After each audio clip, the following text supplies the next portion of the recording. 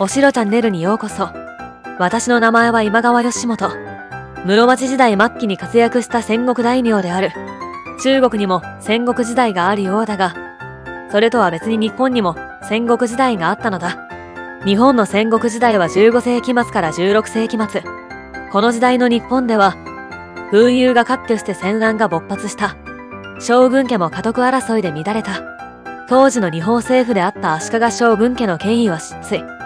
将軍の命令は地方に行き届かず、地方各地で戦乱が起こったのだ。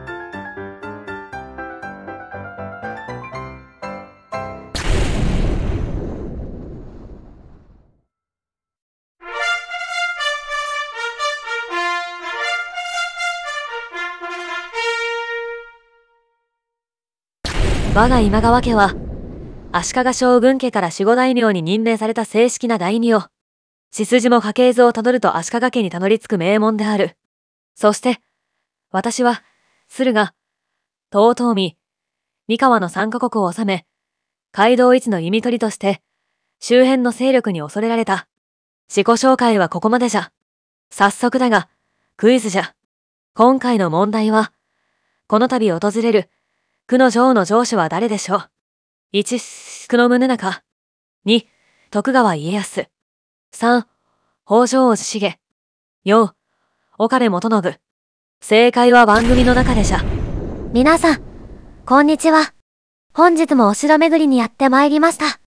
本日訪れた場所は、静岡県袋井市にある久の城です。早速行ってみましょう。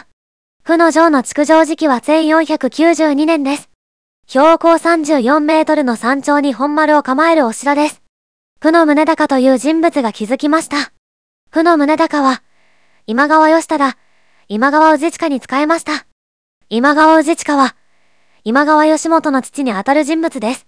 久の城波佐王権現者があったことから、別名、佐王城、とも呼ばれました。佐王権現は、日本独自の三国仏教である修験道の本尊です。佐王権現は、釈迦狙い、千手観世音菩薩、弥勒菩薩の変化された姿、すなわち権現です。今川氏は吉本の後を継いだ今川、氏真の代で滅びます。徳川と武田の両方面から攻められます。今川、氏真が最後に寄ったお城は掛川城でした。当時の当主であった久野宗義は、今川の恩に報いるために、久野城にこもって徳川軍を迎え撃ちました。家康は、家臣を派遣し、久野城を説得します。今川が滅びるのは時間の問題。久野宗義は、徳川家康に仕えることを決断します。武田信玄は、徳川家康に今川攻めを持ちかけますが、約定を破り、徳川領への侵攻の姿勢も見せ始めました。武田からも、久野氏に、誘いの声はかかりますが、武田に寝返ることもなく、徳川家康の家臣となりました。また、徳川家康に自身のこもる掛川城を攻められている今川氏真も、久野宗義を勧誘しています。今川につき、徳川家康を追てば練習一国を与えるという条件でしたが、久野宗義は徳川家康に味方しました。後に、徳川家は、小田原征伐後、関東へ移行します。久野氏は、徳川家康と共に関東へ向かい、下笹倉へ移りました。久野城は、久野氏が違法した後、豊臣家臣である松下幸綱が上司となりました。1603年、徳川家康が江戸幕府を開くと、久野氏が、再び久野城へ戻ってきます。1619年、徳川家康の甥にあたる北条王子重が、久野城の最後の上司となりました。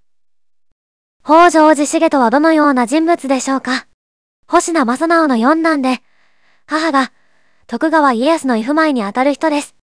1611年に、五北条の一門である北条綱成の孫である北条氏勝の様子となっています。大阪冬の陣では榊原康勝に属し、岡崎城の守備についていたようです。北条氏重、徳川家康の甥にあたる人物ですが、なんと海域となります。子供は5人いたようですが、5人とも女の子だったようです。そのため、北条家は断絶。久野城派1644年に廃城となります。皆の衆、元気しておるか久野城巡り、まだまだ続くと思うな。ここらでクイズの答え合わせ者。問題をもう一度申すぞ。区の城の城主を務めた者は誰でしょう ?1、久野宗中。2、徳川家康。3、北条王子重。4、岡部元信。答えは3の北条王子重者。北条王子重は、動画の中で説明があったように、私の老いにあたる人物じゃ。一族の宗中白の氏の初代の当主者。鎌倉幕府の三大将軍である源の実朝に仕え、和田義盛の乱を破った人物である。王将として、区の将という領地を与えられた。1213年、鎌倉時代の人物じゃな。宿城者の久野宗隆は、もちろん、初代の久野宗隆の子孫じゃ。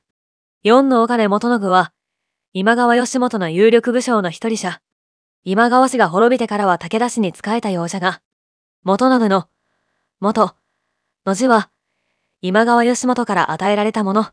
真の字は、武田信玄から与えられたものらしいぞ。おっと、長居しすぎたようじゃな。皆の衆、残りの時間、ゆっくりお城巡りを楽しんでくれ。では、達者でな。